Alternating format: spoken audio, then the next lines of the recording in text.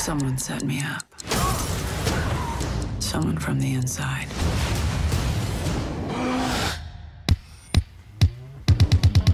Lorraine, there's a double agent hunting our operatives in Berlin.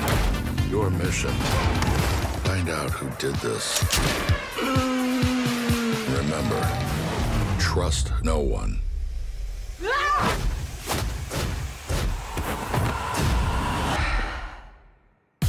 Your contact is David Percival. Ah! Well, what was your first impression? Disastrous. Berlin has its own set of rules. I trust you but as far as I can throw you. You sent me into a hornet's nest. Well, then you knew that, didn't you?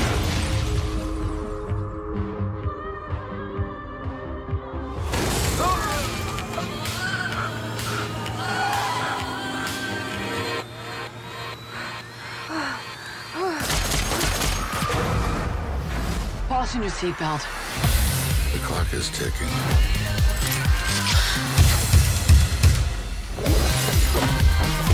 I'm impressed.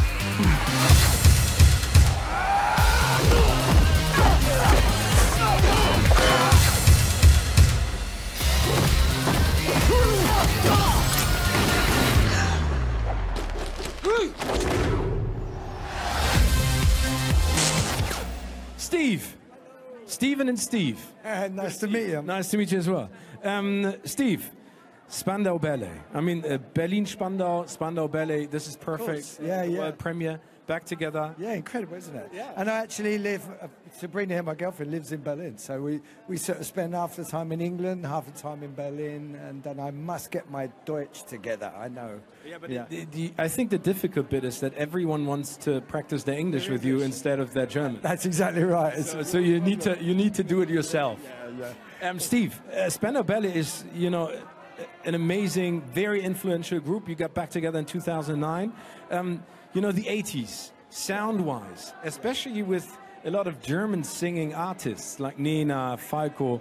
Uh, how would you describe that music scene back then, the sound? I mean, I will go a little bit further back and say that it was krautrock and people like uh, La Dusseldorf and, and uh, Nina, Nina Hagen and especially Kraftwerk that inspired us to form a band. Which Really? Absolutely. Why do you think we're called Spandau Ballet? Okay, makes sense. We were paying it back, you know. Good. Yeah. Okay, so so basically, uh, German music has influenced your career. I mean, that's kind of crazy because I would say that the English music scene is by far the more creative. If you think about it, the, the, the Brits, the English, they, they grab music like black music, you know. We, we took the blues and we created the Rolling Stones and then sold it back again, you know, took it back over there. That's what we do. Okay, yeah, but but you do it in a good way. Uh, listen, we obviously put our stamp on it, but I think the 80s as well, yeah, not just Spandau, but uh, there's still people are still sort of taking songs and still influenced by by the whole music scene of the 80s. It was a very rich period of music and culture, and I think it's still a lot that we're tapping into. Like, like you know, this film. You know, it, it's not just the lighter end of the, the sort of pop music of the 80s. You've got The Cure in there. You've got dark Depeche Mode. You know, and that, that sort of darker side really is interesting as well. It goes great with the film.